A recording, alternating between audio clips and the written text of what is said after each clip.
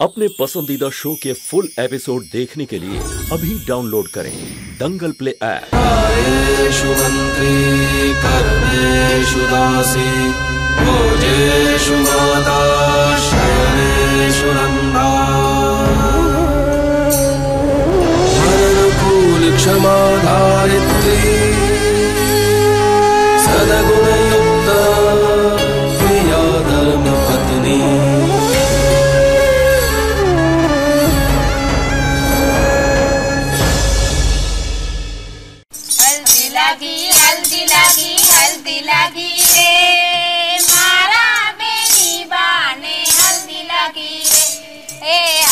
लगी, हल्दी लगी हल्दी लगी रे। मारा बेनी बाने, हल्दी लगी रे। ए बापो, तारो आवसे ने हल्दी लगाड़ से। बापो, तारो आवसे ने हल्दी लगाड़ से। माता तारी आवसे ने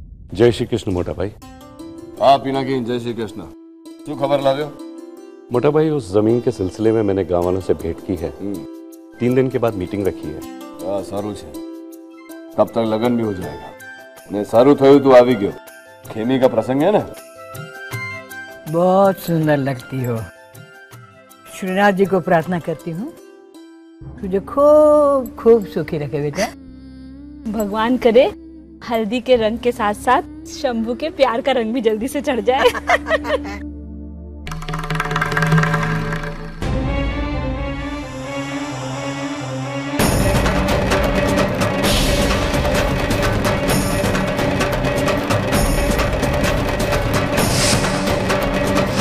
करो। हाँ बेटा।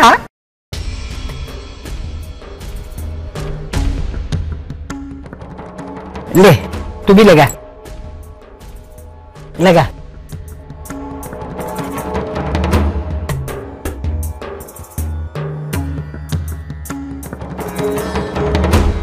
अरे बरोबर लगा। चल बरोबर लगा।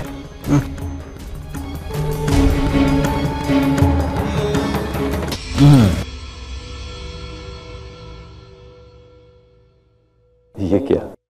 मोटी बहन? हाँ। मैंने बोला था સારું લાગ્યું મને કે મેરા માન રખા મોટી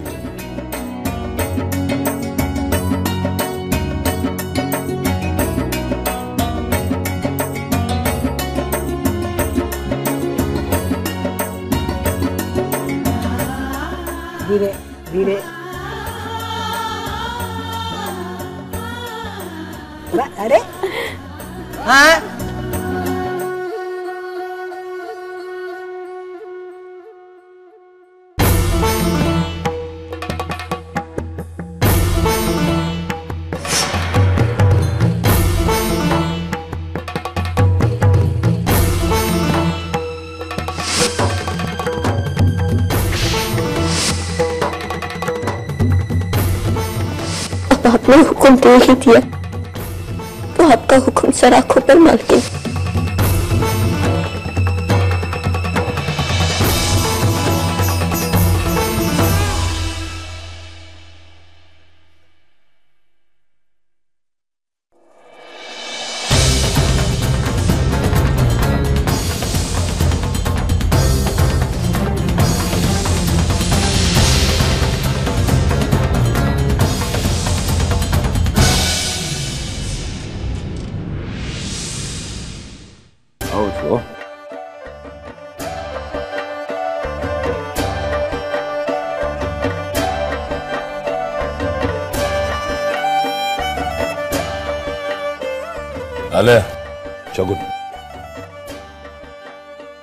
सुखी रहे सुखी रहे ए, तेरी नानी बहन है ना? नानी बहन के पगे नहीं पड़ते। पर अच्छी मेरी बहन भी और मालकिन भी है। धर्मपुर के मालिक का आशीर्वाद तो मिल गया। अब मालकिन का भी ज़रूरी है।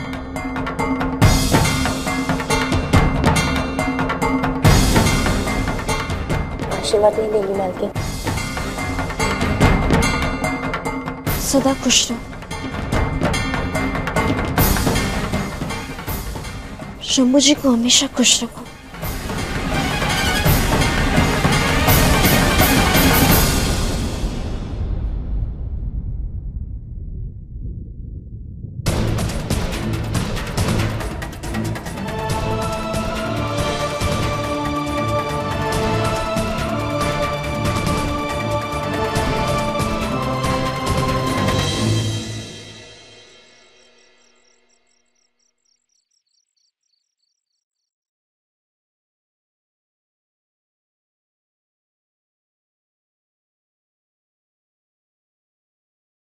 बुलाया आपने? आ, आओ आओ। तुझे इसलिए बुलाया ये पूछने के लिए कि वो सब लोग बरोबर है ना? कौन अरे अपने खेमी ने मोंगी ने सब। तू उनके साथ रहा है ना? उनकी पसंद नापसंद को जानता है। खुश है वो लोग। आपके अतिथि को कैसे तकलीफ़ हो सकती है?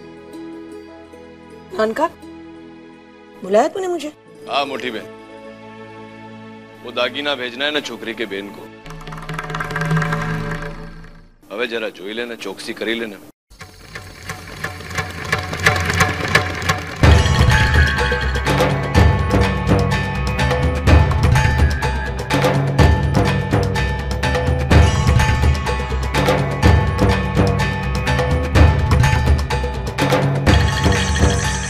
नानका ये तो सुभद्रा भाभी की निशानी है। इसे दे रहा है तो? अरे हाँ। जोन अच्छा हुआ ना तू आवी। नहीं आती तो बहुत बड़ी भूल हो जाती। अबे, तेरे मेरे और बा के सिवा किसी को पता भी नहीं कि सुभद्रा का हार है। ना हितेन को, ना उस छोकरी को। मैंने, मैं हितेन को ये दागीना लेके भेजने ही वाला था। सुभद्रा ने बोला था कि हितेन की पत्नी को देना। खाली फोकट वो छोकरी के बेन के गले में चला जाता।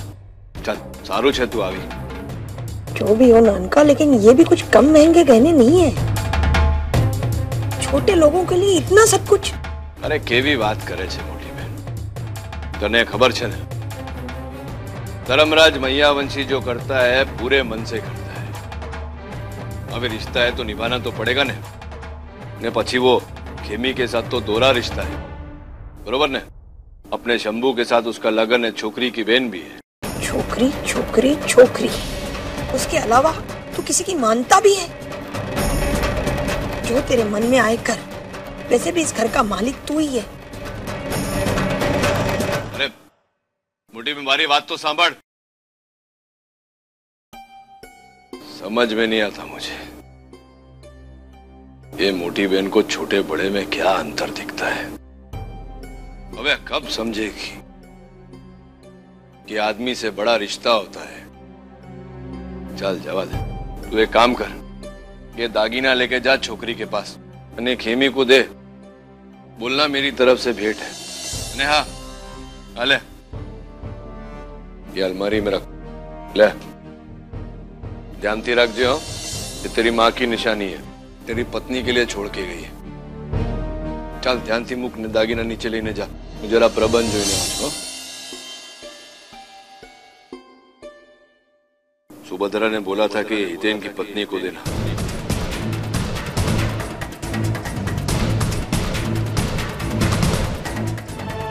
तेरी माँ की निशानी है तेरी पत्नी के लिए छोड़ के गई तेरी माँ की निशानी है तेरी पत्नी के लिए छोड़ तेरी पत्नी के लिए छोड़ के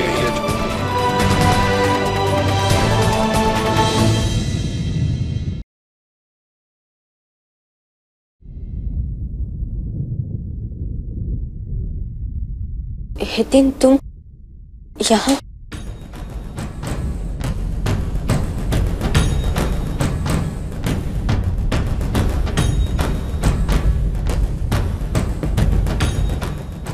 ये धर्मपुर के मालिक ने तुम्हारे लिए भेजा है। तुम्हारे लगन की भेंट।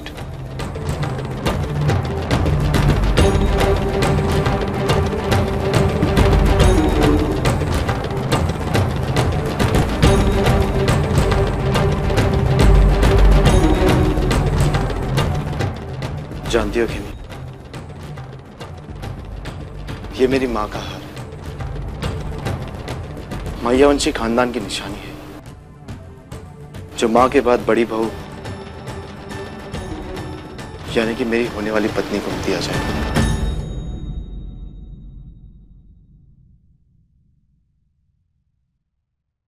मैं चाहता हूँ कि ये हार तुम्हारे गले में ही होगी। ये मुमकिन नहीं है हितेन मुमकिन होता खेमी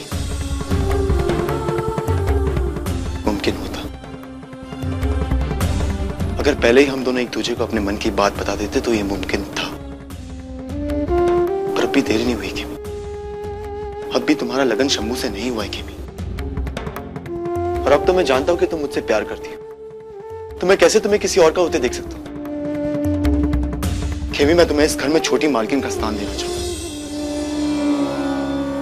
इस हार पर सिर्फ़ तुम्हारा अधिकार है। हितेन तुम समझ ये लगन मैं नहीं होने दूँगा खेमी नहीं हितेन ऐसे नहीं हो सकता। तुम समझने की कोशिश करो। मैं तुम्हारा साथ नहीं दे सकती। ये मेरी मेरी मजबूरी है। मजबूरी तब होती ना खेमी। जब मैं तुम्हारा साथ नहीं देता।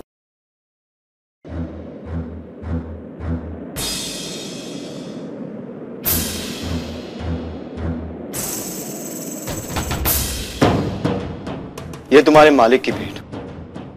तुम्हारे और शंभू के लगन की।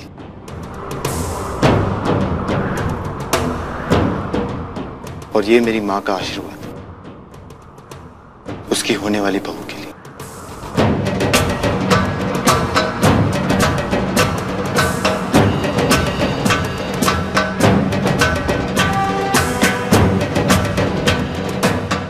तुम्हारा लगन मुझसे ही होगा। और ये हार तुम्हें ही पहनाया।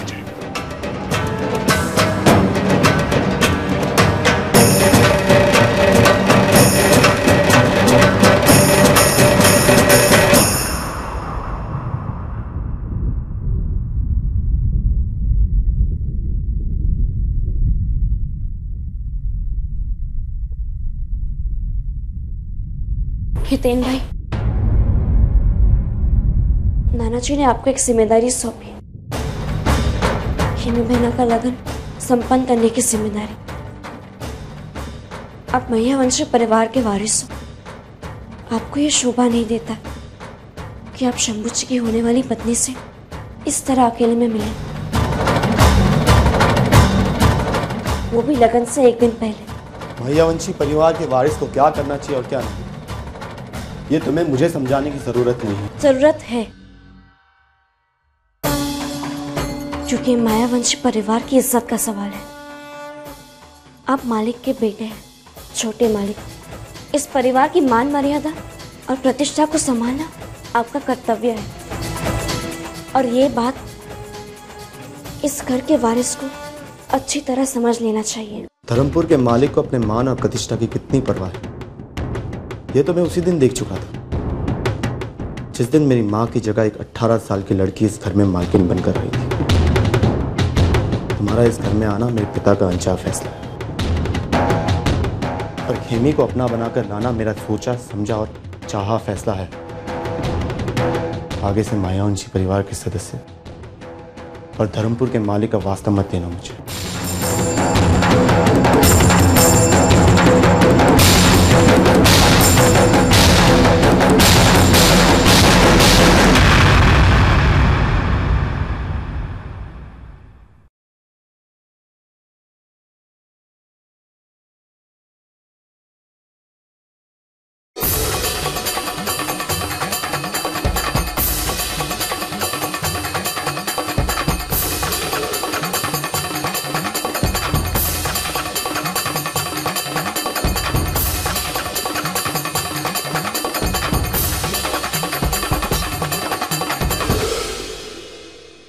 आइए मालकिन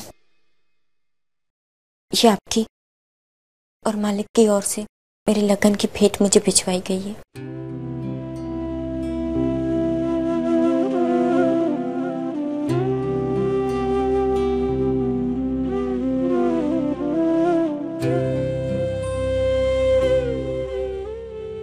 मैं जानती हूँ, बहना। अब तक नाराज़ हो मुझसे। छोटी बहन ने बड़ी बहन पर हाथ उठाया। गुस्सा होना स्वाभाविक है। मुझे माफ़ कर दो बहना। तुमने बहुत बड़ी दुविधा में डाल दिया मुझे। एक और तुम्हारा प्यार है और दूसरी ओर मेरा कर्तव्य है। मुझे कुछ समझ नहीं आ रहा था मैं क्या करूँ। इसीलिए मैंने सब कुछ नाना जी को बता दिया।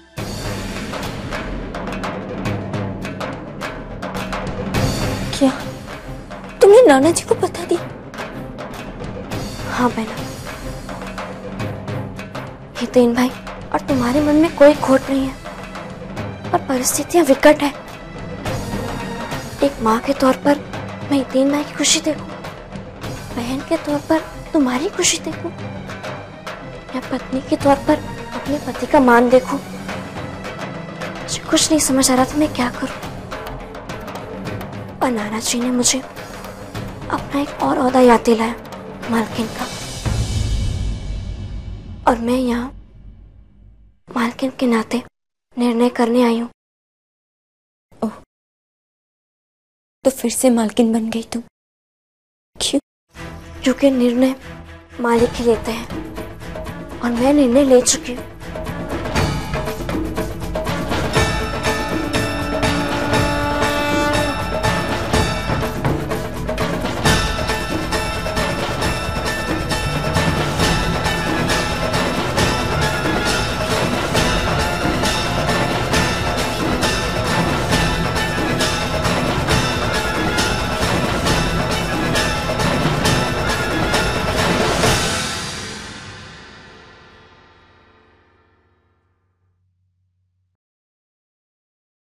की मालकिन होने के नाते मैं तुम्हें ये बेट अपने हाथों से पहना कर कहना चाहती हूँ कि यही हकीकत है। इसे स्वीकार लो।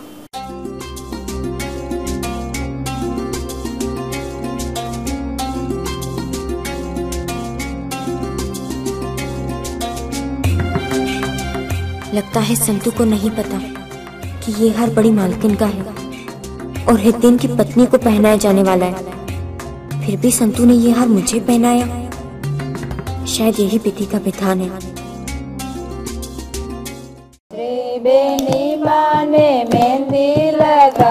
जो।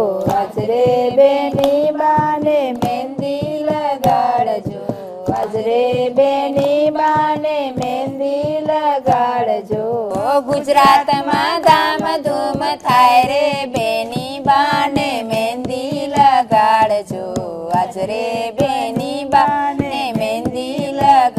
લગાડજો ગુજરાતમાં ધામ ધૂમ થાય રે બેની બાને મહેંદી લગાડજો जीती रहो अरे चंपू कहाँ थे हम सामान लाने गई थी बा पहले एक जोड़ी कपड़ा लेकर आई थी ना फिर देखा घर में लगन का प्रसंग है तो अच्छे कपड़े भी तो पहनने पड़ेंगे ना अच्छा जा सामान अंदर रख दे और जल्दी से वापस आ हाँ? बहुत सारा काम पड़ा है अभी आई बा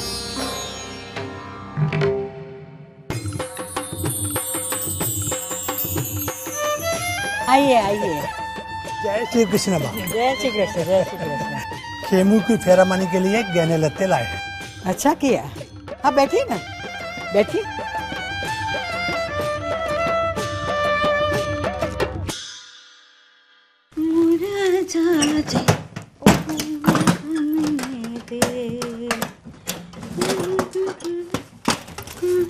ये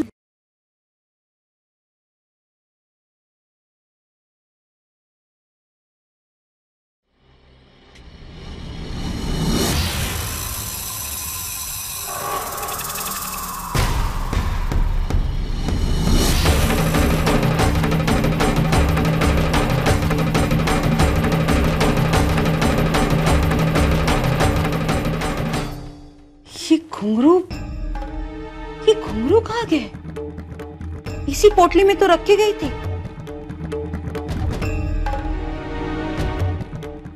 अरे आप कब आई? अभी आई। अच्छा चंपा एक बात बता। हाँ? तूने मेरी पोटली में से कुछ लिया है क्या? ये आप क्या कह रही हैं? मैं भला आपका सामान क्यों छूँगी अरे नहीं मैं कुछ सामान रख के गई थी यहाँ दिख नहीं रहा इसलिए पूछा तुझसे। मैंने नहीं रखा। बता मुझे? यहाँ कोई आया था क्या? अरे हाँ एक दिन बेनबा आई थी आपको ढूंढते हुए यहाँ पे। बेनबा?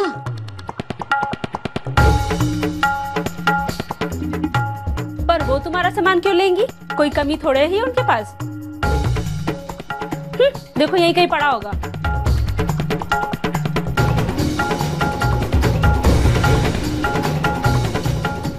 तरुलता माया वंशी यहाँ आई थी।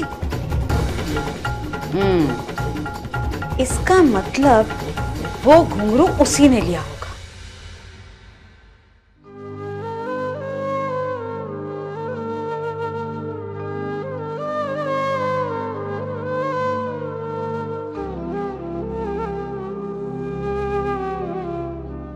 जय रांदल माँ की बेनबा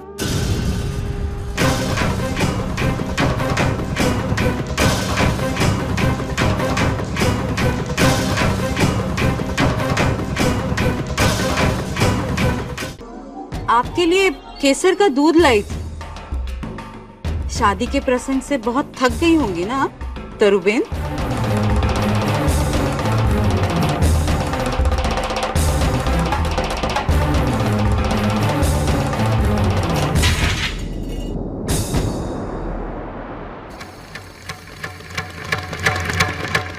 ये घुंघरू तेरे पास कैसे आया? बता किसने दिया? क्यों? आप नहीं जानती? आपकी ये अमानत मैंने बरसों से संभाल कर रखी थी। उस दिन आपको अस्पताल में देखा। तो सोचा, आपकी अमानत आपको लौटा दो। इसलिए घर भी आई थी मैं। पर ये क्या तरुबे चोरी कर लिया आपने? और गुस्सा तो ऐसे दिखा रही है, जैसे मेरी ही कोई गलती हो। अरे, जिस बात के लिए इनाम देना चाहिए, उस बात के लिए आँखें दिखा रही है आप तरुबेन ये मेरे घर में ही खड़े रह के मुझसे जबान लड़ा रही है। तो घोड़ी की हो रहा तभी थक्के मार के निकालूँगी ना यहाँ से तुझे। इस हालात में मुझे धर्मपुर के मालिक से बात करनी होगी, आपके भाई से। इस बात को वो जानते तो है ना?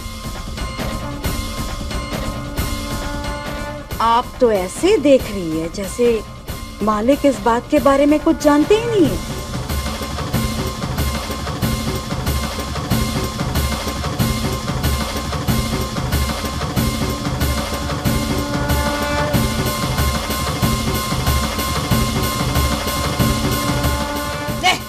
तेरा मुँह बंद रखने की कीमत दे रही हूँ।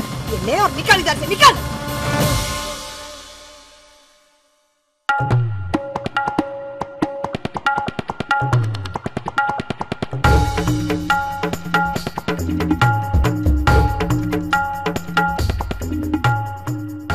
आपने मुझे जितने रुपए दिए ना, उससे एक रुपया ज़्यादा।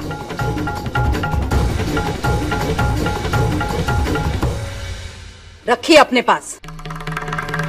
और ये भी याद रखिए कि छोटे लोगों की कीमत बहुत बड़ी होती है।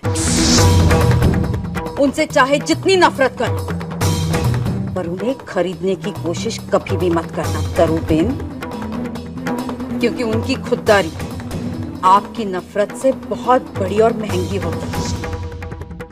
और हाँ जहाँ तक राज की बात है, वो तब तक मेरे सीने में रहेगा, जब तक मैं यहाँ हूँ। जिस दिन जिस दिन मुझे इस घर से धक्के मारकर बाहर निकाला तो कहीं ऐसा ना हो जाए तरुबेन, कि उस धक्के से मेरे सीने में जो राज है, वो बाहर निकल आए मान की आशा तो मैं करती नहीं आपसे, पर अपमान भी नहीं सहूँगी। ख्याल रखना। और पहना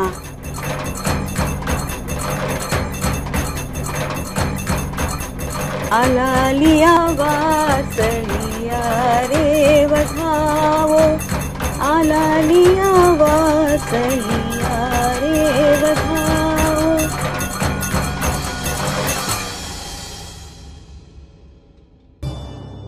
वही हुआ आई थिंक जो तुम चाहते थे। और अब मैं भी ये हार तुम मेरे गले में देखना चाहते थे ना? और अब तो धर्मपुर की मालकिन भी यही चाहती है कि ये हार मैं पहन। मेरी बहन संधू हमारी मदद करेगी।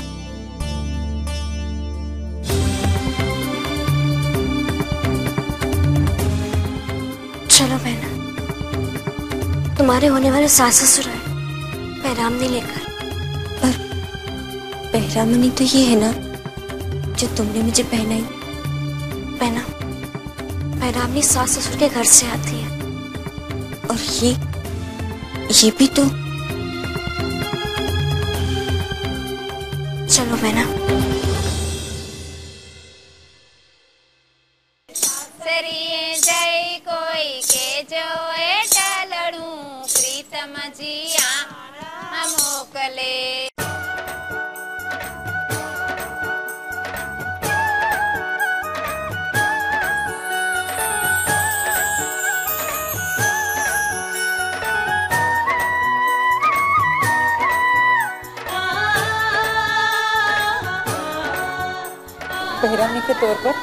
मैं अपनी बहू के लिए ये भेंट लाई हूँ।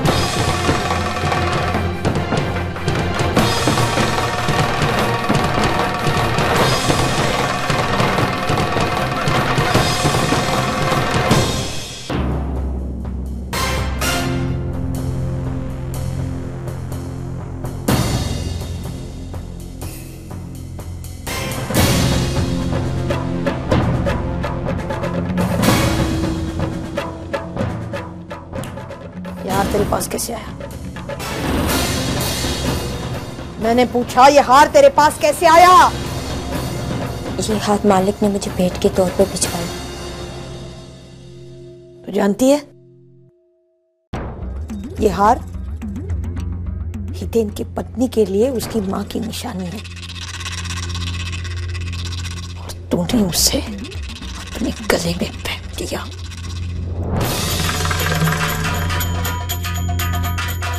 किससे पूछ के तूने ये हार पहना? बता। वो शायद संतु संतु ने गलती से कोई गलती नहीं। जान बूझ के करती है ये छोकरी।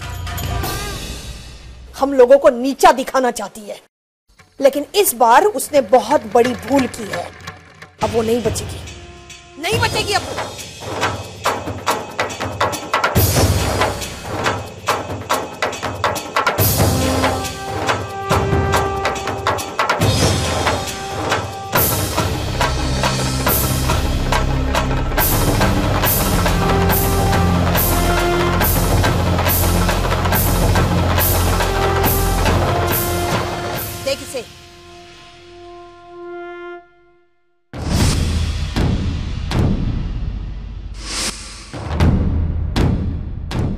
पहचान। ये हार तूने अपनी बहन को पहनाया था। हाँ बहन माँ ये हार तो मालिक ने भेंट में दिया था खेमी बहना को। तुझे पता है ये हार सुभद्रा भाभी का है। हितेन की पत्नी का है।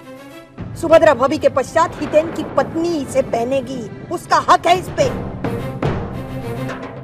और तूने अपनी बहन को पहना दिया। पर बिनमा मालिक नहीं? चुप! मेरा भाई कभी भी ये हार भेंट में नहीं दे सकता। तूने इतनी हिम्मत की कि ये हार तेरे बहन को पहनाए। अब इसका दंड तुझे नान का देगा। बहुत बड़ी भूल की है तूने, छोकरी।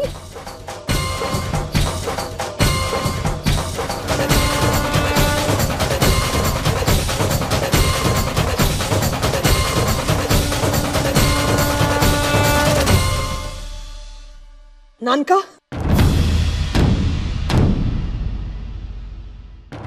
શું થયું મોટી બેન हाँ जो ये देख તો સુભદ્રા કા હાર હે પણ है नहीं था था એટલે શું संतू महारानी ने अपनी बहन खेमी को भेंट में ये पहनाया है ये हार जिसे तू और सुभद्रा भाभी हितेन की पत्नी के गले में देखना चाहते थे वो हार खेमी के गले में डाला गया है। तेरी उस छोकरी के हाथों।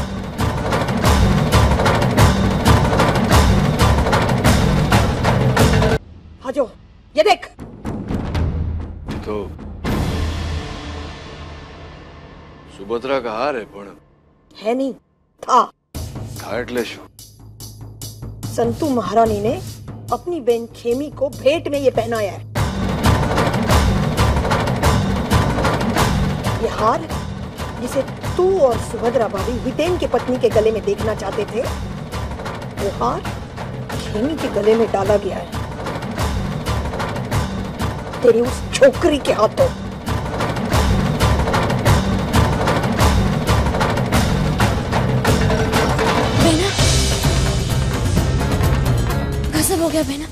पता है। बेनबा आई थी और वो हार मुझसे छीन के लेके गई। वही तो बहना। वो हार बड़ी मालिक का था और मैंने वो हार तुम्हें गलती से पहना दिया। मालिक ने वो हार हितीन भाई की पत्नी के लिए रखा था। न जाने वो हार उन गहनों में कहाँ से आ गया। बहुत बड़ी भूल हो गई मुझसे। भूल तुझसे नहीं संतु। मुझसे हुई है। मुझे पता था कि वो हार किसका था। बहना तुम जानती थी?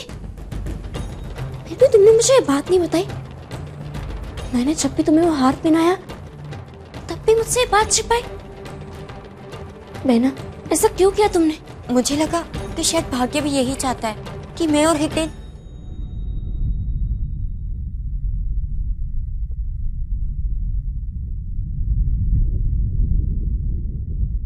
मैं अपने आप को समझा नहीं पाई। पर मुझे ये तुझे पहले ही बता देना चाहिए था। और अब तक तो बेनबा ने ये बात मालिक तक पहुँचा दी होगी। जो भी हो बहना भूल मुझसे हुई है तो मैं दंड भी भुगतूँगी। मालकिन! मालिक बहुत गुस्से में है। आपको तुरंत बुलाया है। और, और बेनबा भी उनके साथ खड़ी है। आपने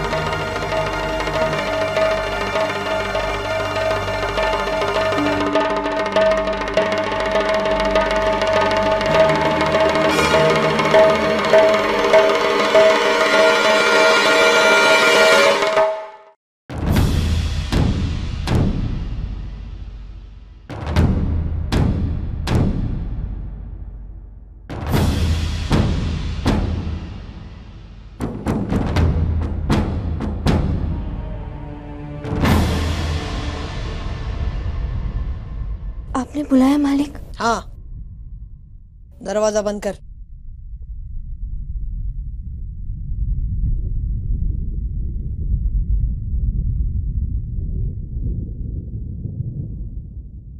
नानका ने तुझे यहाँ रहने के लिए जगह दी। मेरे मना करने के बावजूद तुझे इतनी बड़ी जिम्मेवारी सौंपी। और तूने? तूने उसे बिना बताए इतना बड़ा कदम उठा लिया। छोटे लोग भी ना? कितना भी करो कमी पड़ता है। ए मोटी बहन। नहीं नानका मुझे बोलने दो। किससे पूछ के हाँ? किससे पूछ के तूने वो हार तेरी बहन के गले में डाल दिया? टफोड़ वो हार इस घर की बहू के लिए है तेरी बहन के लिए नहीं। मोटी बहन तू जाने में बात करता हूँ जा। अबे जा चल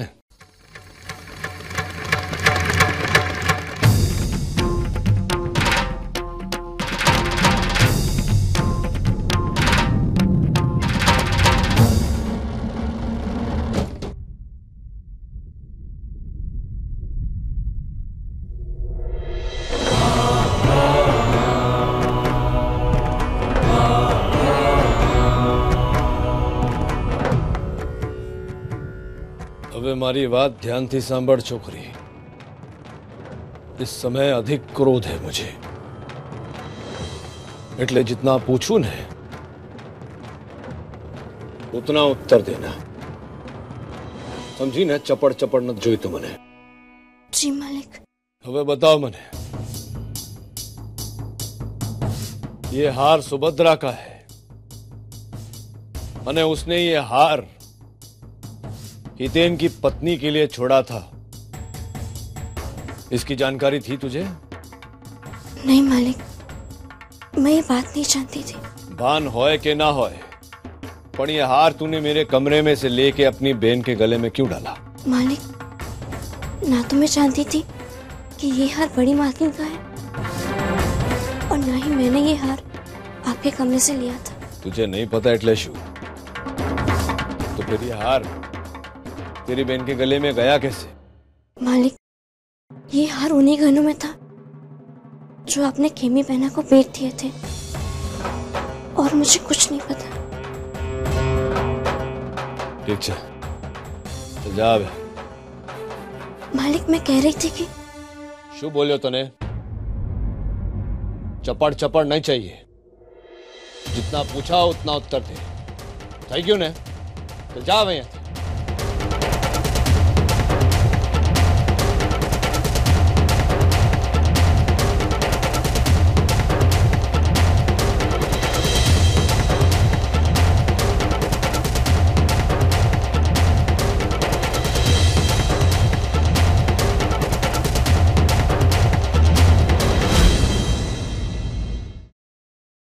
Hey, Danny.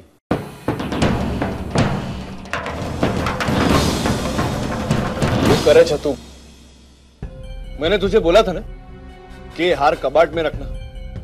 बोला था कि नहीं? पति एक खेमी के गले में कैसे आया?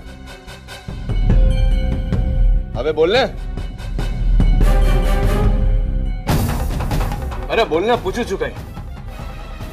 ये हार मैंने।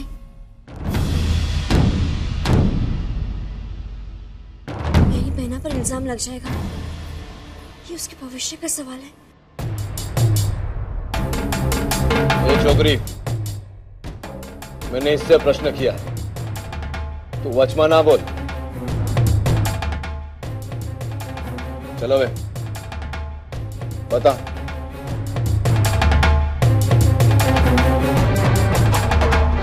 बिहार मैंने गलती से रख दिया इतना काम था कि याद ही नहीं रहा।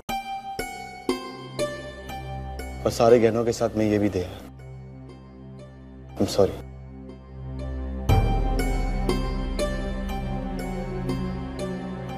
मुझे लगा कि ऐसा ही कुछ होगा। पर मैंने सोचा कि एक बात तुझसे पूछ लूँ। चल, वांदो नहीं। भूल हो जाते हैं कभी कभी अबे मैं ये हार अपने पास रखता हूँ। जब तेरा लगन होगा ने, तब अपनी बहू को अपने हाथ से दूँगा।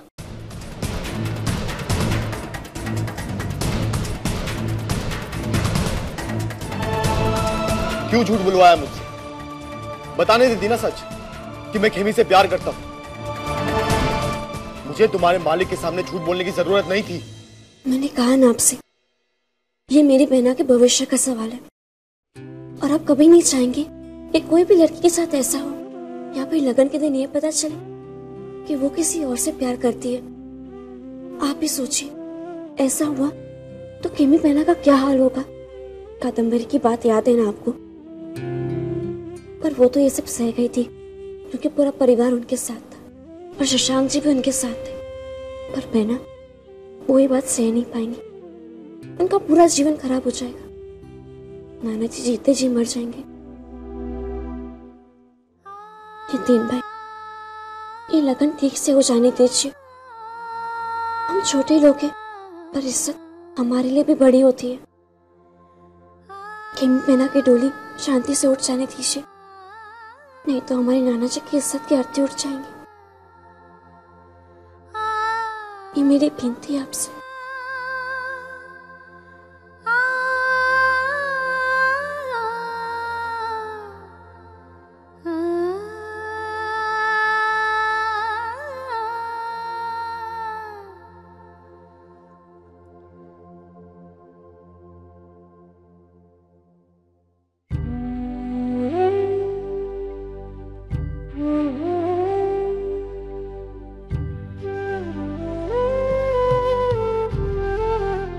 तुम्हारी बहुत याद आ रही है, माँ। बहुत मिस कर रहा हूँ मैं तुम्हें। अगर आज तुम यहाँ होती तो सब कुछ संभाल लेती, माँ। खुद खेमी को वो हार अपने हाथों से पहनाती। मुझे कुछ समझ में नहीं आ रहा। आज पहली बार ना चाहते हुए भी मुझे धर्मपुर के मालिक के आगे झूठ बोलना पड़ा। अगर मैं खेमी को प्यार करता हूँ तो कोई अपराध है मेरा। खेमी के बगैर नहीं रह सकता, माँ।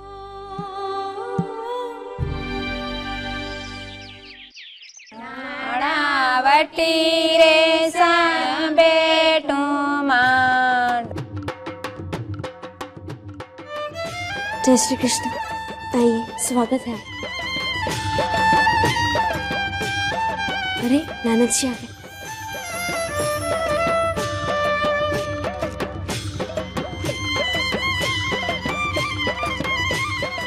शुक्रिया बेटा। जाओ सबका आशीर्वाद लो।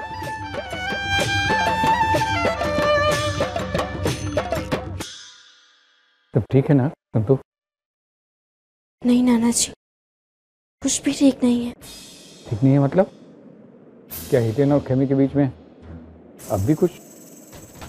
नाना जी मालिक ने खेमी बहना को खेने भेज दिए थे लगन के लिए और फिर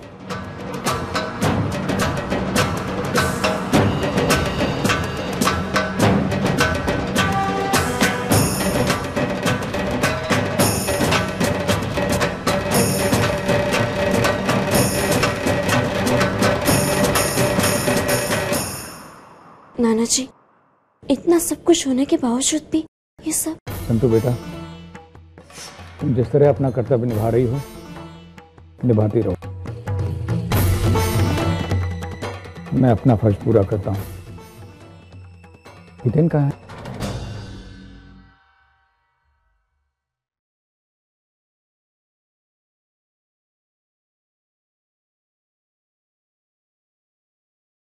बेटा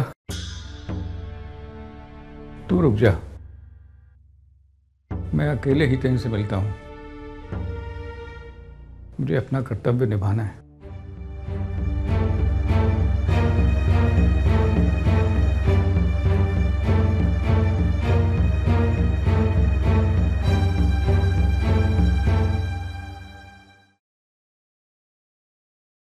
हितेन? नाना जी, आप यहाँ?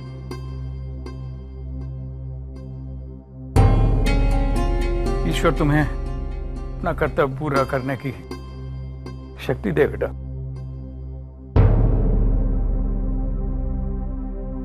मैं इस घर के आँगन को पार करके पहली बार किसी कमरे में कदम रख रहा हूँ।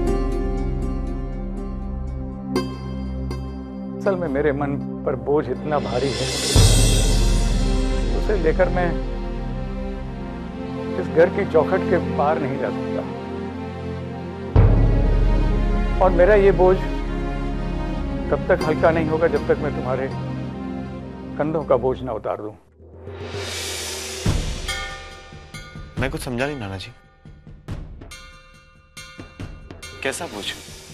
खेमी की शादी का जिम्मा मैंने तुम्हें सौंपा था। अब वो जिम्मा मैं वापस अपने कंधों पर ले रहा हूँ। तुम्हारी ज़िम्मेदारी और सजा दोनों समाप्त हुए। अब तुम आज़ाद हो। गुरुजी है आप मेरे। हीरे तराशना आपने ही मुझे सिखाया नाना जी बिना मांगे ही गुरु दक्षिणा ले ली। आज फिर से द्रोणाचार्य ने एकलव्य से उसका अंगूठा मांग लिया। द्रोणाचार्य? यदि ये एकलव्य से अंगूठा नहीं मांगते तो महाभारत वो नहीं होती जो आज है। मालिक ने एक बार मुझसे कहा था कि मैंने अच्छा हीरा तराशा। उनका इशारा तुम्हारी ओर था। तुम्हारी बात कर रहे थे। अब मैं चाहता हूँ कि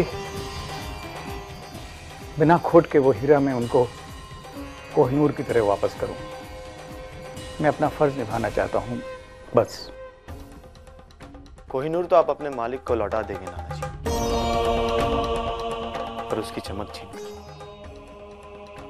आप ही बताइए गुरु जी बिना चमक के हीरे और एक आम पत्थर में क्या अंतर होता है? हीरे में अगर चमक ना रहे, कारीगर उसे तराश करके ठीक कर लेगा। लेकिन यदि हीरे में खोट रह गई तो उसे ठीक नहीं किया जा सकता। मैं और कुछ नहीं कहना चाहता। बस इतना समझ लो कि खेमी मांगलिक है और शंभू भी।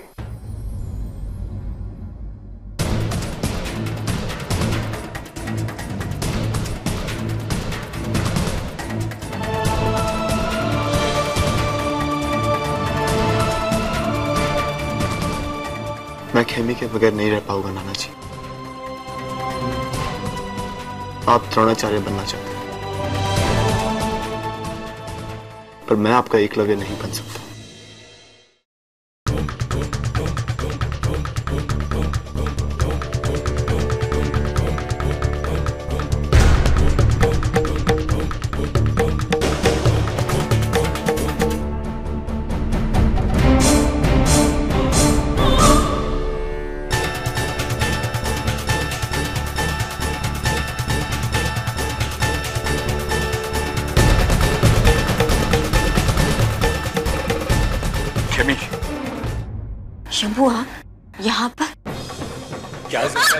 ऐसा करने की। बताओ क्या ज़रूरत थी तुम्हें ऐसा करने की? क्या किया मैंने। शंभू!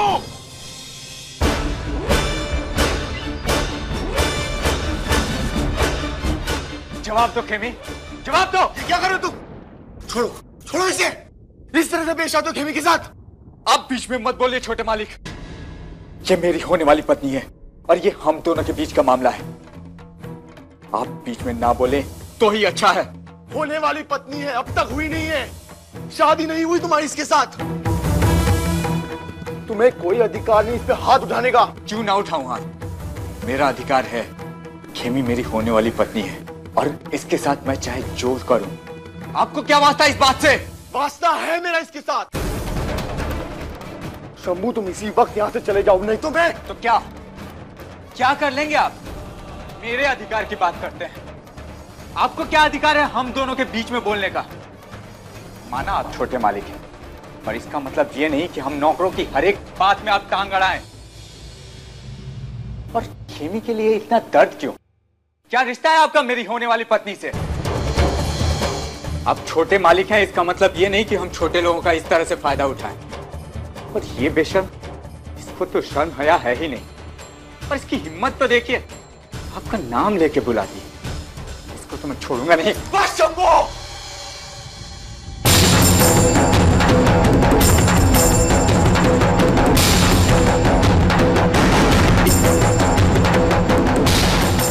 मेरा हाथ छोड़िए छोटे मालिक। खेमी मेरी होने वाली पत्नी है।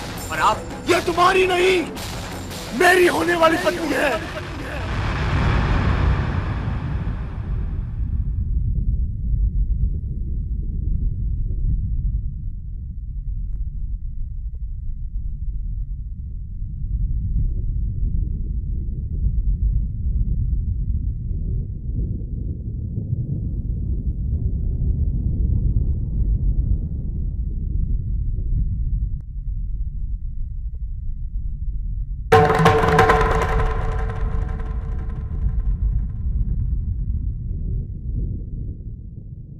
यही तो सुनना चाहता था हितेन भाई।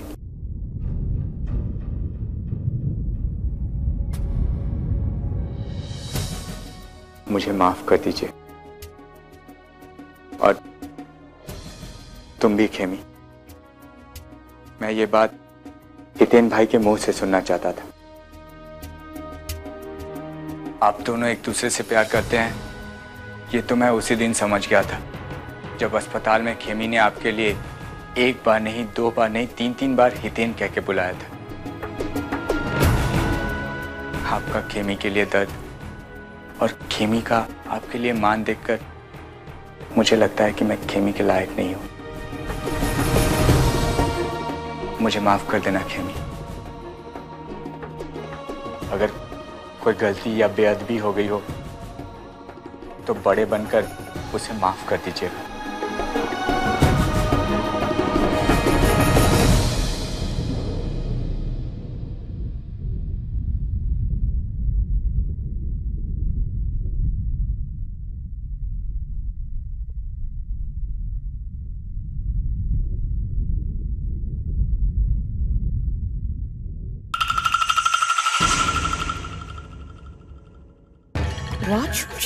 संतुड़ी इतनी जल्दबाजी में और परेशान होके कहाँ जा रही है?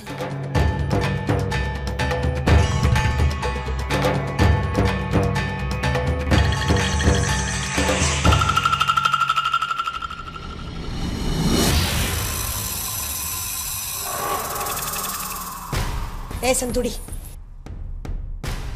नानका गुस्से में कहा गया? आप खुद ही उनके मुँह से सुन लीजिएगा। उन्होंने आपको भी बुलाया। मुझे भी बुलाया?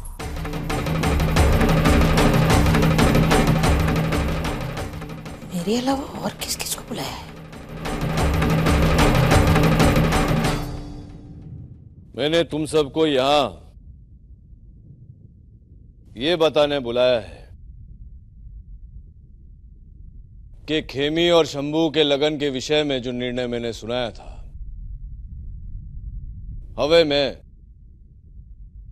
अपना निर्णय बदलना चाहता हूँ।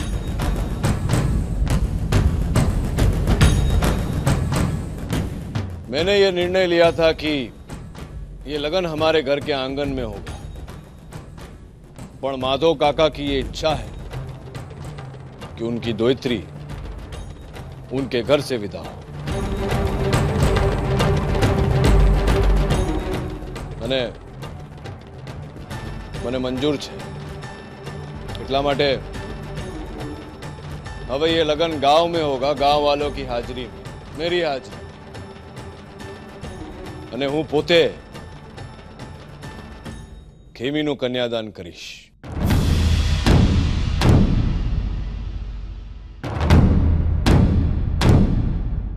धर्मपुर का मालिक अपना निर्णय कभी नहीं बदलता पर ऐसी क्या बात हुई संतुड़ी और नानका के बीच कि अचानक नानका ने अपना निर्णय ही बदल दिया સમજી ગયા ને બધા લઈ જાઓ માધવ કાકા. તમારી દોયત્રીને લઈ જાઓ.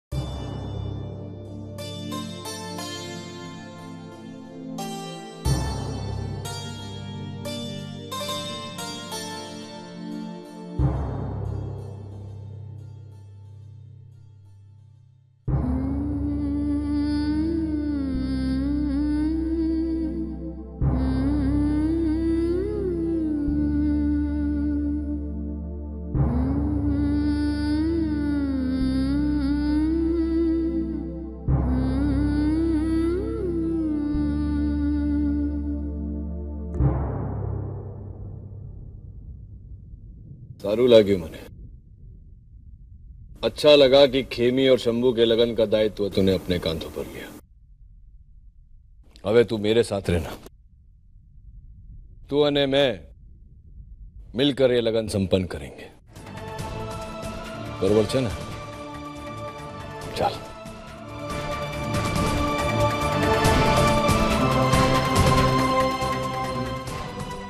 क्या बात की है संतोष? ये तो तय है कि मेरे और खीमी का सच नहीं बताया उसने। वरना अभी तो वो मुझ पर बरस पड़े होते। तो ऐसा क्या कहा संतु ने कमाल कर दिया आपने। हितेन भाई। हितेन भाई ने हितेन कहिए मालकिन। सुना था कि संगत के साथ रंग तो चढ़ता ही आज देख भी धर्मपुर के मालिक के साथ साथ रहकर मालिक की तरह सोचने लग गई है। हितेन भाई। आप भी कई सालों तक मालिक के साथ रहे। पर आपने कभी उनकी तरह नहीं सोचा? क्योंकि मैं इंसान बनकर जीना चाहता हूँ, मालिक बनकर नहीं। और वो तो धर्मपुर के मालिक हैं। उस औहदे से ज़्यादा मान उन्होंने आज तक किसी रिश्ते को नहीं किया। पर आप, आपके तो कुछ रिश्ते हैं। ना एक बार भी खेमी की बहन बनकर नहीं सोचा आपने। एक बात बताइए, मालिक। क्या किसी से प्यार करना अपराध है? यही सवाल बेला ने मुझसे पूछा था।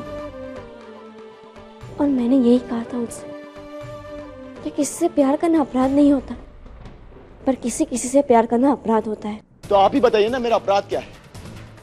क्या मैंने किसी के घर डाका डाला? किसी को दुख पहुँचाया मैंने?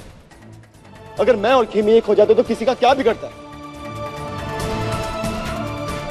अगर मैं खेमी से शादी कर लेता तो नाना जी का क्या नुकसान होता इस घर के परिवार का क्या छीन जाएगा? खेमी को पत्नी बनाकर इस घर में लाना चाहता था। पर आप मालकिन, आपने तो मेरे सारे दरवाजे ही बंद कर दिए। और कहते हैं ना, एक औरत ही एक औरत की सबसे बड़ी दुश्मन होती है। ये बात आज आपने साबित कर दी। अपनी बहन का प्यार देखा नहीं किया उसकी खुशी देखी नहीं गई आपसे। इसीलिए उसे इस घर से फिकवा दिया। और अपने मन का डर बिटा दिया कि कहीं मैं कुछ करना नहीं हितेन भाई आप जानना चाहते हैं ना कि क्या छीन जाएगा? इस घर की शांति छीन जाएगी। उस घर का मान मिट्टी में मिल जाएगा। इस घर की नकली शांति और उस घर का झूठा मान के मेरे और खेमी के प्यार से बड़ा है? मजबूरी बड़ी है हितेन भाई। कई बार मजबूरी बड़ी हो जाती है हम छोटे लोगों के लिए। प्यार से भी बढ़कर। कड़ी सर्दी की रातें। हम फटी चादर ओढ़कर ही काट लेते हैं। पर हमारी इज़्ज़त की चादर में छेद। ये ना तो हम सह सकते हैं, ना ही हमारे समाज को ये स्वीकार है। हितेन भाई, मैं प्यार के खिलाफ नहीं हूँ। पर इस घर की सदस्य होने के नाते ये मेरा कर्तव्य है। ये मेरा फ़र्ज़ है कि आपके और खेमी मैना के रिश्ते से आने वाले तूफ़ान को मैं रोकूं। उस मुश्किल को रोकूं जो आपके और खेमी मैना के रिश्ते से आ सकता है। हितेन भाई, मैंने ये बात अब तक मालिक से नहीं कही है। मैं नहीं चाहती कि ये बात और आगे बढ़े। हितेन भाई, मैं ये बात आपसे पहले भी कह चुकी हूँ। और अब भी विनती करती हूँ। आप खेमी बहना के बारे में सोचना बंद कर दीजिए। आपको अच्छी लड़की मिल जाएगी। पर बहना को कोई लड़का नहीं मिलेगा। वो प्रबल मांगलिक है। नहीं मानता ये सब मैं। नहीं मानता। हर बार कोई ना कोई दुआई लेकर आ जाता। कल वो आए जिन्हें मैं अपना गुरु मानता। उसकी शिक्षा और ज़िम्मेदारी की दुआई देकर गए मुझे। जो वचन मैंने उन्हें दिया है, उसकी दुआई देकर गए मुझे। पर तुम तुम मुझे अपने परिवार के रिश्ते की दुआई देने आई क्यों सुनू मैं तुम्हारी? मेरा भी मन है और मुझे अपने मन की सुनने का अधिकार है। क्यों तुम लोग मुझे ऐसा एहसास दिला रहे हो कि मैं प्यार नहीं, मैंने पाप किया है? पर ये सब मैं तुम्हें क्यों बता रहा हूँ? तुमने तो कभी प्यार किया ही नहीं। तुम तो जानती नहीं कि प्यार क्या होता है। उसका दर्द क्या होता है। आप तो इस घर की मालकिन धर्मपुर की मालकिन है। और आप केवल धर्म, अधिकार और वचनों जैसी भाषा समझती है। तो मैं आपको आपके ही शब्दों में समझाता अपने नाना जी को दिए हुए वचन की बात करती है ना तुम? हाँ दिया है उनको वचन कि मैं खेमी की खुशियों का ख्याल रखूँगा उसका ब्याह वहाँ कराऊँगा जहाँ उसकी खुशी होगी। और अब तक इस लगन में मैं इसीलिए था, क्योंकि मुझे लगा कि खेमी शंभू के साथ खुश है। पर अब तो मैं जान गया कि खेमी केवल मेरे साथ खुश है और मैं अपना वचन निभाऊँगा। खेमी से लगन करके, जो वचन मैंने नाना जी को दिया था कि खेमी की डोली उठने तक सजा काटूँगा, वो निभाऊँगा। खेमी की डोली उठेगी और इसी घर के आँगन में आएगी। और एक बात याद रखना खेमी और शंभू का लग्न नहीं। आज मैंने खेमी के गले में मेरी माँ का हार पहना कल सबके सामने मैं उसे मंगलसूत्र पहनाऊँगा कल देख, भले ही हज़ारों आँखें हम पर टिकी रहे, लेकिन सारे गाँव वालों के सामने मैं खेमी से लगन करूँगा और तुम और तुम्हारे मालिक कुछ नहीं कर पाओगे मेरे अब तक प्यार का दर्द देखा। प्यार की ताकत नहीं देखी।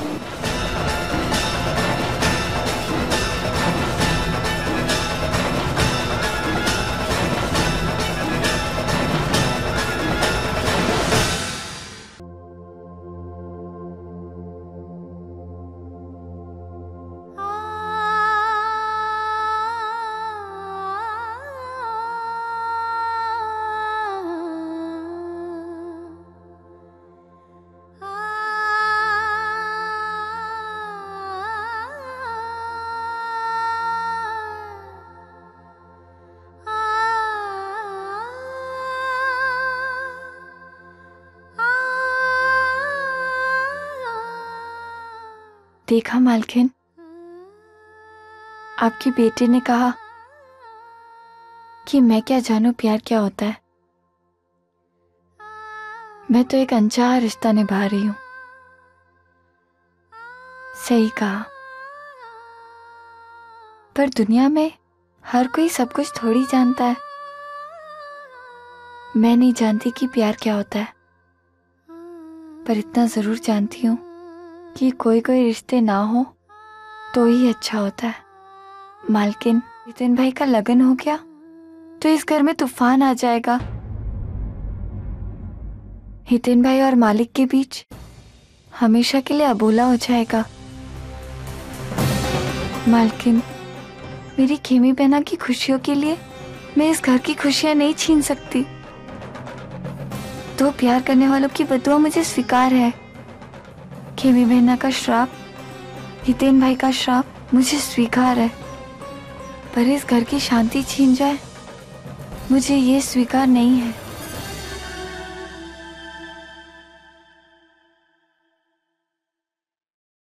એ છોકરી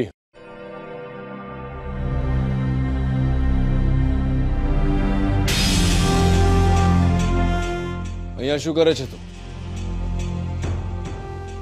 कुछ नहीं मारे। जो बात है बेझिझक बोल। ऐसा कुछ नहीं मारे। दरअसल बात कैसे नहीं? बात तो है ना। हितेन ने खेमी की बात खेमी की बात।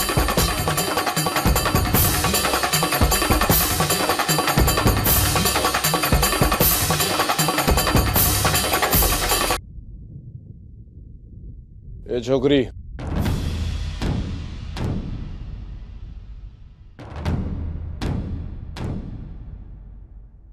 અહીંયા શું કરે છે તું कुछ नहीं मालिक जो बात है बेझिझक बोल ऐसा कुछ नहीं मालिक दरअसल बात कैसे नहीं बात तो है ना हितेन ने खेमी की बात यही बताने आई थी ना तू हम्म? શું લાગ્યું તને कि मैं तेरे जैसा डफोड़ फोड़ू इतने दिवस से घर में जो चल रहा है, वो मुझे खबर नहीं होगी। मैंने बोला था हितेन को कि वो हार कबाट में रखे, पर उसने नहीं रखा। अने जारे मैं उससे पूछने गया तो शू बोलियो तो कि भूल हो गई। बरोबर ने, तू थी ने वहाँ? ये सुनकर मैं वहाँ से चला गया। पर ज़्यादा दूर नहीं गया। दरवाजे पे खड़े खड़े तेरी ने हितेन की सब बात सुनी।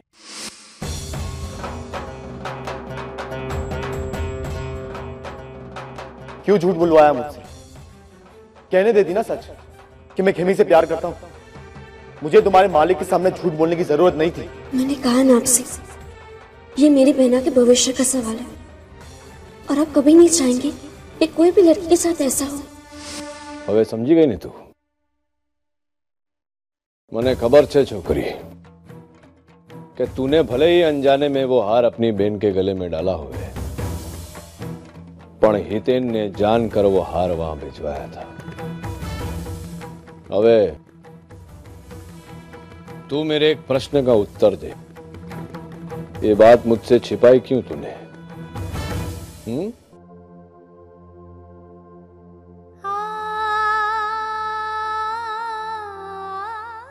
बस बस उभी था।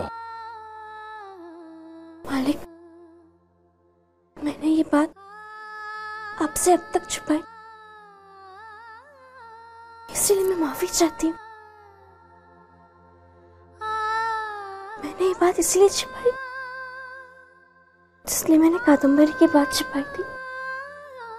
मैंने सोचा कि उसका हाल मैं खुद निकाल लूँगी और आपको तकलीफ़ ना दूँ।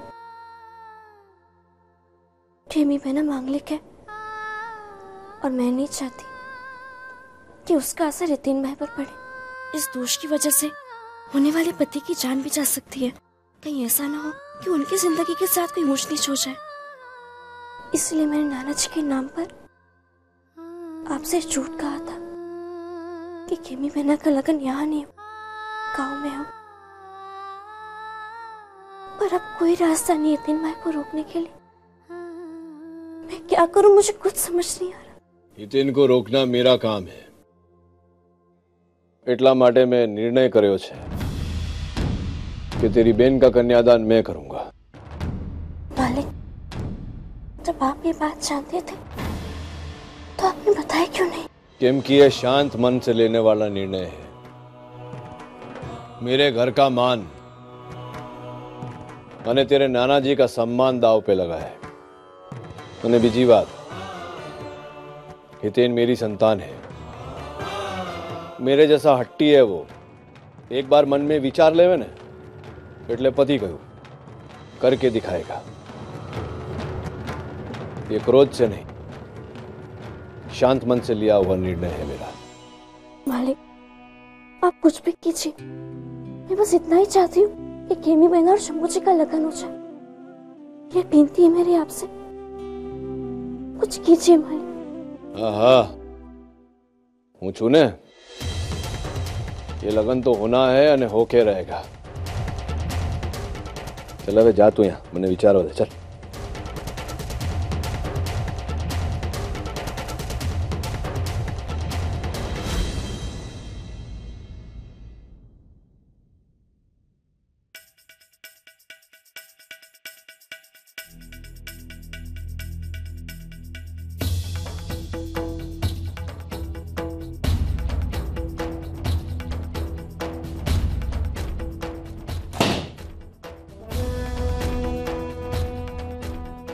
दरवाज़ा बंद करने की क्या ज़रूरत है?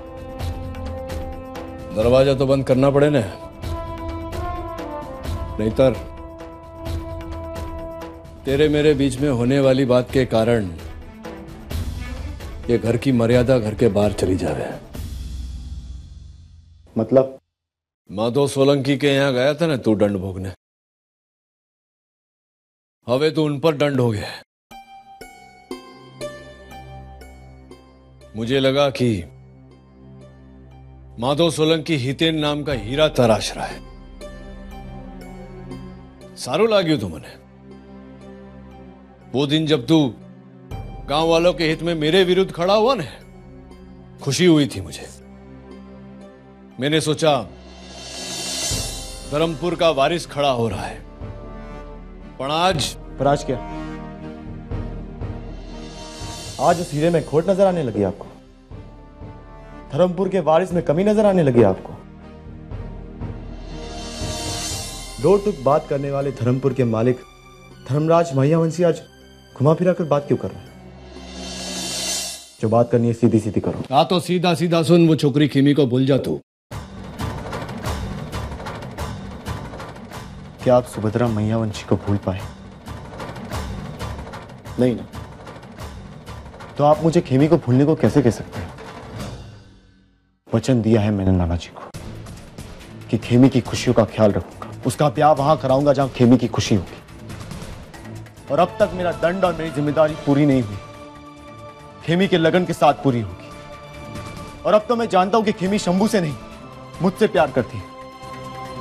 और मैं अपना वचन पूरा करूँगा।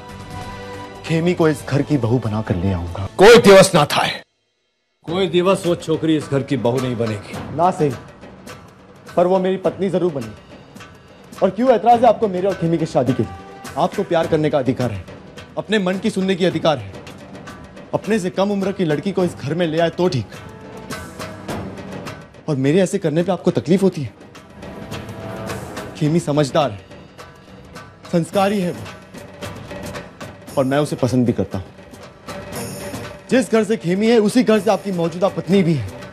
फिर क्यों? बताता हूँ मैं आपको। धर्मपुर के मालिक है ना? मालिक की तरह सोचते हैं एक बाप बनकर तो कभी सोचा ही नहीं आपने।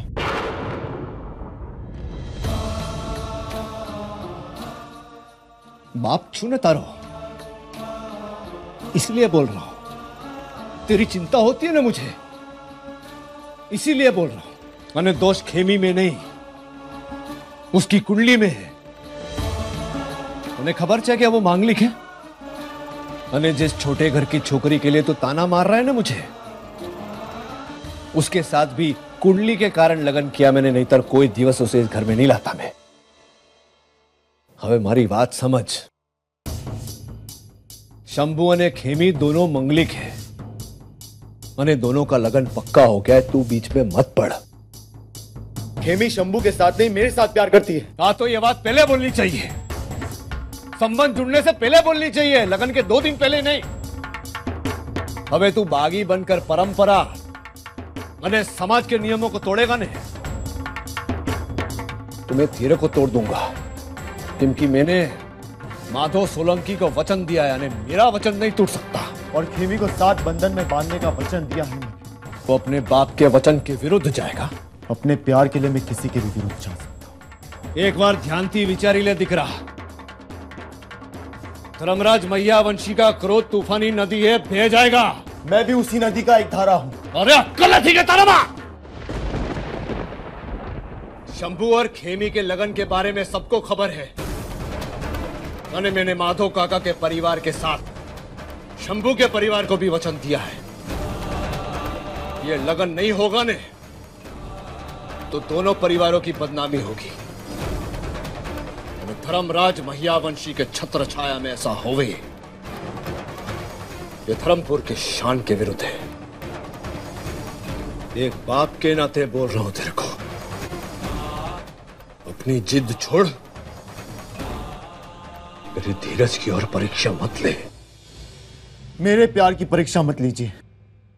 अपने बाप को चुनौती दे रहा है तुम। प्यार की चुनौती स्वीकार कर रहा हूँ। अंतिम बार बोल रहा हूँ।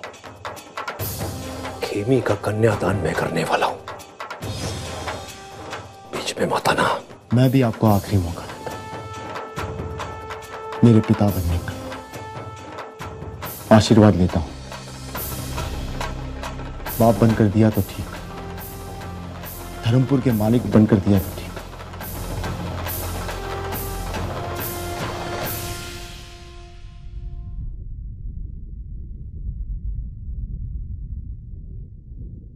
धर्मपुर के मालिक फिर से जीत गए मेरे पिता से। इस प्यार की लड़ाई में जो चाहे जीते। जीतेगा माहिया वंची का ही खून बाप के या बेटे के? इस बार तो धर्मपुर के मालिक को हार नहीं होगा। हरामखोर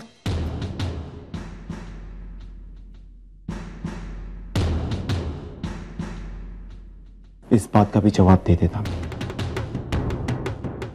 अगर आप मेरे माँ के पति नहीं होते खेमी से मैं शादी करूँगा और इसकी चुनौती देता हूँ।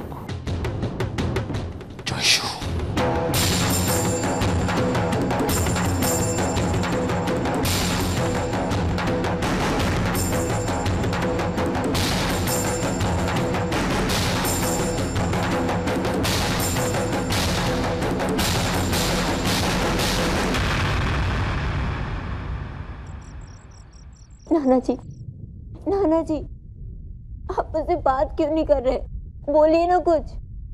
और ये आपकी आँखों से आँसू क्यों बह रहे इसलिए कि हितेन की सारी यादें आंसुओं में घुल करके बाहर निकल जाएँ। और क्यों? हितेन में क्या बुराई है? मैं उससे प्यार करती हूँ और मैं उसे लगत बस। बुराई हितेन में नहीं तेरी कुंडली में है। तेरे और हितेन के रिश्ते में है। और फिर तू मांगलिक है।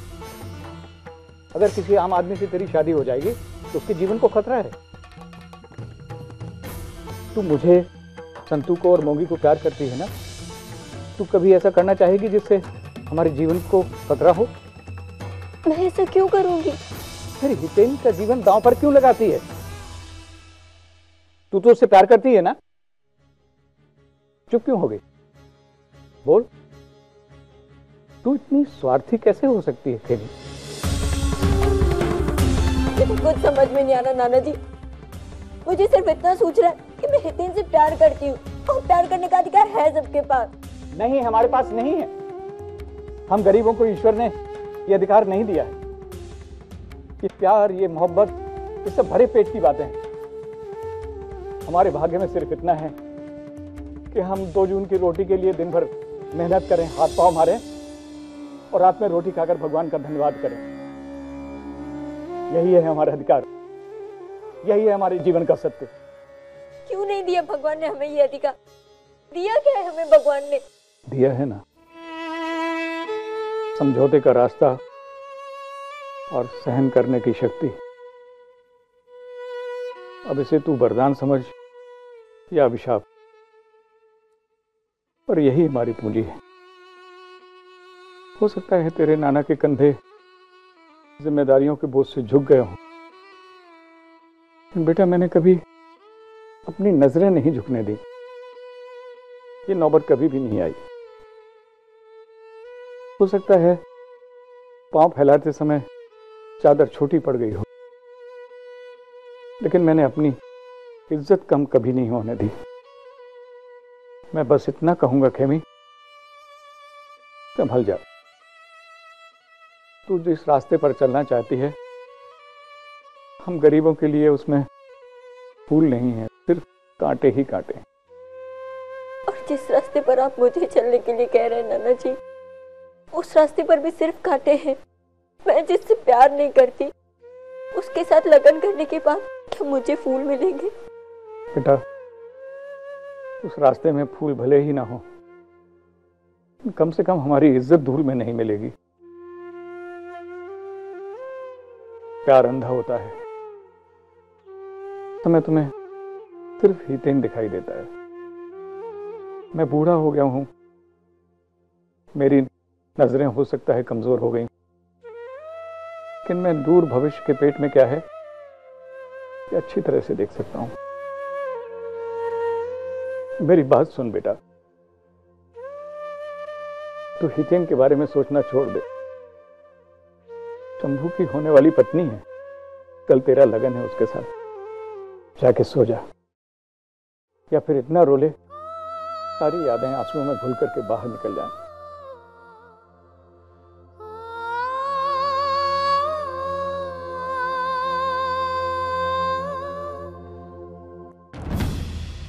मैं भी आपको आखिरी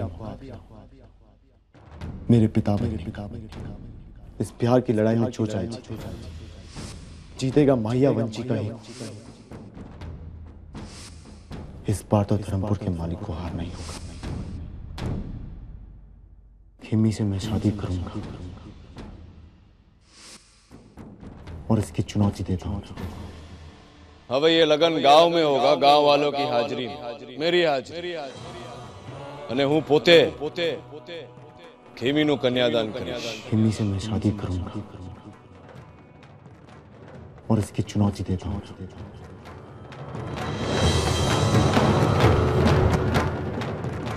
छोकरी।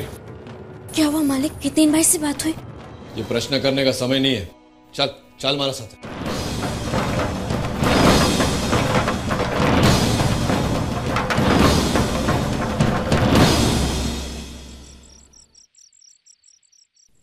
माधो काका। ए माधो काका। मालिक।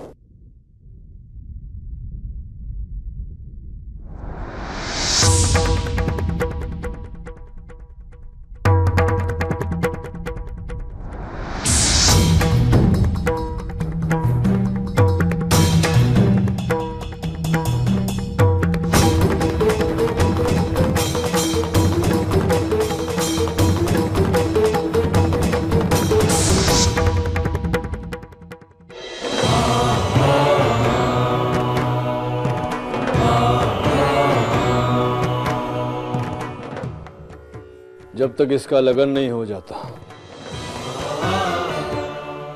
आपके घर की यानी आपके घर के मान की रक्षा और पहरेदारी धर्मराज मैया वंशी करेगा।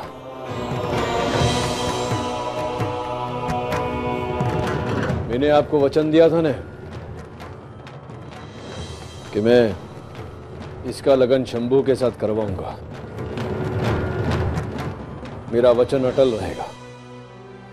હવે જાઓ તમે આરામ કરો એ છોકરી तेरे नाना जी को भीतर लेके जा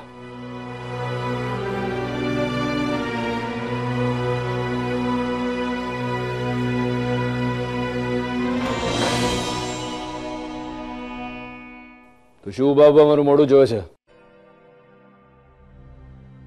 તો જા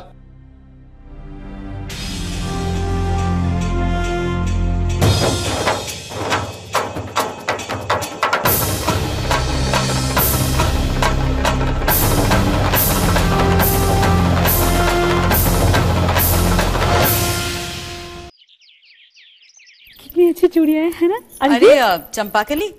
हाँ। चंपाकली एक बात बता। ये हितेन भाई जो है वो इस घर के सबसे बड़े बेटे हैं ना? हाँ। क्यों? क्या हुआ? अरे कुछ हुआ नहीं मैं ऐसे ही पूछ रही थी। हितेन भाई सबसे बड़े हैं और उनसे छोटी है कादम्बरी बहन।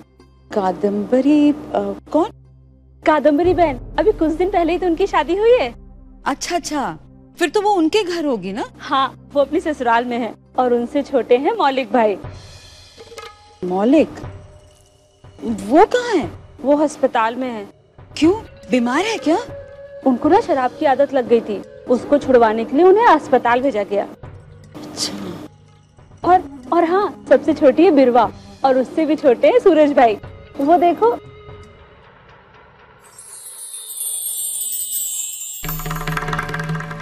क्यों? कर ली पूरी जासूसी। और तू कल उठी क्यों उल्टी उसके सामने? वो बेनबा इन्होंने पूछा तो मैंने बताया। कोई कुछ भी पूछेगा और तू कुछ भी बता देगी।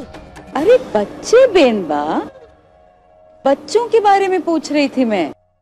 कितना हरा भरा घर है है ना? जा तू अभी। क्या जानना चाहती है तू? हाँ? क्या जानना चाहती है? मैं बताती हूँ तुझे सब कुछ इस घर के बारे में। लेकिन उसके बदले में तुझे ये बताना होगा कि कांजी वाघेला कहाँ है। क्यों? कांजी वाघेला के बारे में क्या जानना चाहती है आप? अरे वाह। खीवी की लगन के लिए। तू जो सजी सबरी है ना जमको? वाह आपकी साड़ी भी बहुत अच्छी है। है ना? बेनबा? हाँ हाँ। अरे तारू तू घर के कपड़े में क्यों है? धर्मराज कन्यादान करने वाला है और तू ऐसी? शायद बेनबा को छोटे लोगों के लगन रस्म में कोई दिलचस्पी नहीं है बा। मालिक कितना प्यार करते छोटे लोगों से। पता नहीं क्यों ये बेनबा छोटे लोगों से इतनी घृणा करती है। सुभद्रा मालकिन भी नहीं करती थी। तू सुभद्रा को पहचानती थी? कैसे?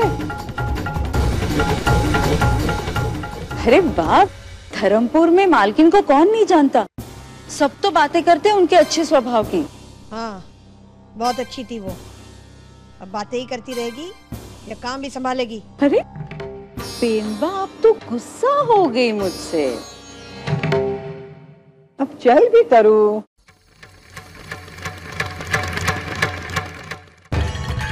हाँ आ, बा आ, मैं तैयार होके आती हूँ। सच कहा आपने नानका कन्यादान करेगा और मैं ऐसे ठीक नहीं लगेगा। मैं मैं तैयार होके आती हूँ। आप चलिए। जल्दी आना हाँ? हाँ।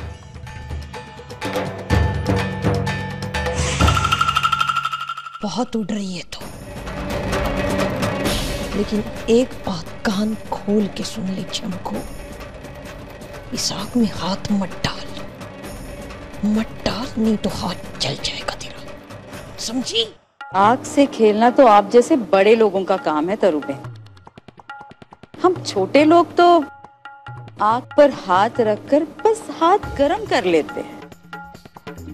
और आपको परवड़ेगा नहीं, तरुबे, मुझसे गुस्सा करना। अगर कांजी वाघेला के बारे में जानना चाहती हो तो सबर तो रखना ही होगा।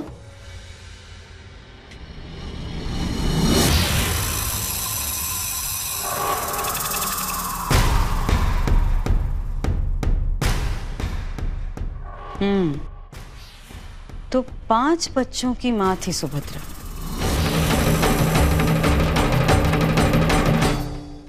ने सौभाग्य सासरे काले जाऊं છે બેને સૌભાગ્ય સાસરે ધીરે થી બોલતા તો શીખજે રે મૈયરની કાલે જાઉં છે બેને સૌભાગ્ય लो। धीरे बोलता था सीख जरे मैयरनी कीर्ति अंदर सब बरोबर है ना? जी मालिक। जरा अपनी बेन पे नज़र रखना।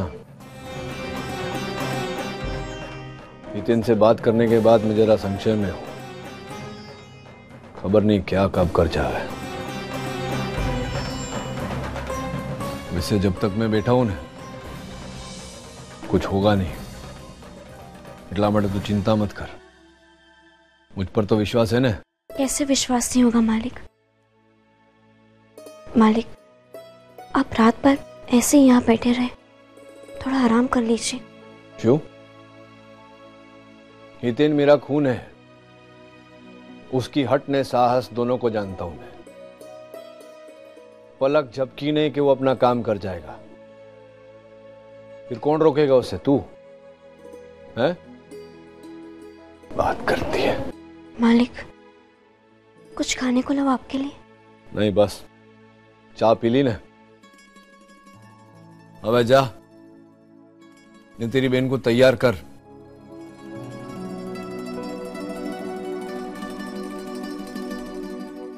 जय श्री कृष्ण मालिक। हाँ रमेश। बोल। सब बरोबर है ना मंडप में? हाँ मालिक। पूरा पहरा दे दिया है। हितेन भाई आए तो उनको हम छोड़ेंगे नहीं। शु बोलियो। जितना बोला है ना उतना कर। होशियारी मत कर। ये कभी भूलना मत कि हितेन मेरा डिकरा है। समझो ने? जा भैया जी मालिक।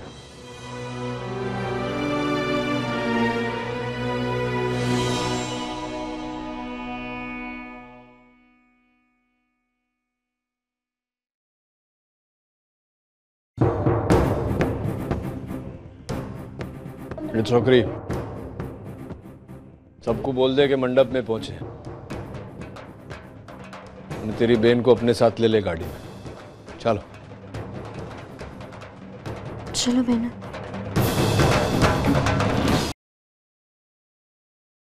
समझ गए ना? किसी की भी निगाह चूकनी नहीं चाहिए। तब की आँखें सतर्क और कान चौकस। जय श्री कृष्ण बाबू जय श्री कृष्ण बेटा। आओ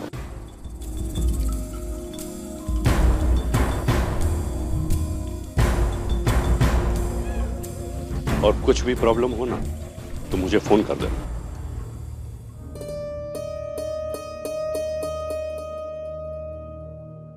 पिनाकिन ये सब क्या है? इतना पहरा क्यों? पता नहीं, बाबूजी। मोटा भाई का हुक्म था इसलिए पैरा ठहराया कोई तो बात होगी ही तभी तो नानका ने ऐसा किया धर्मराज જય શ્રી કૃષ્ણ મોટા ભાઈ પિનાકીન બધું બરોબર છે ને જી મોટા ભાઈ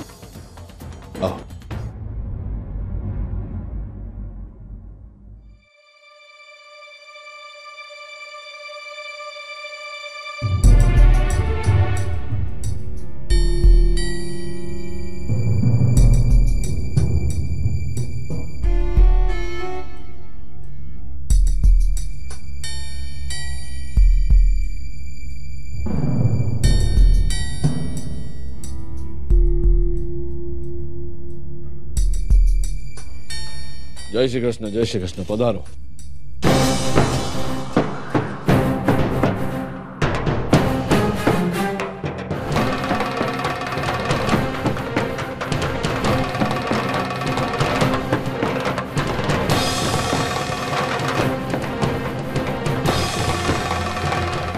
मुझे माफ कर देना खेमी अगर कोई गलती या बेअदबी हो गई हो तो बड़े बनकर उसे माफ कर दीजिएगा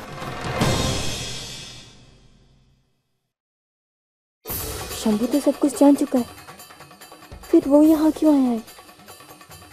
और न जाने हितिन कहाँ रह गया। कैसे मुझे ये शादी करने से रोकेगा वो? मुझे तो कुछ समझ में नहीं आ रहा।